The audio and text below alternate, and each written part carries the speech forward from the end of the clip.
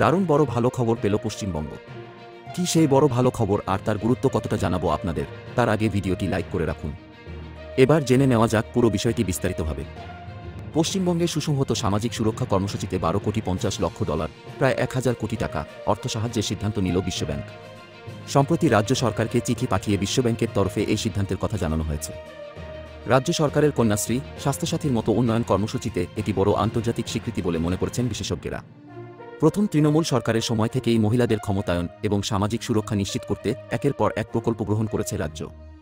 সরকারের দাবি, বিধবা ভাতা, বার্ধক্য ভাতা, কন্যাশ্রী, রূপশ্রী, স্বাস্থ্যসাথী বা হালে লক্ষ্মীর ভাণ্ডার মহিলাদের ক্ষমতায়নের পথে সহায়ক প্রকল্প।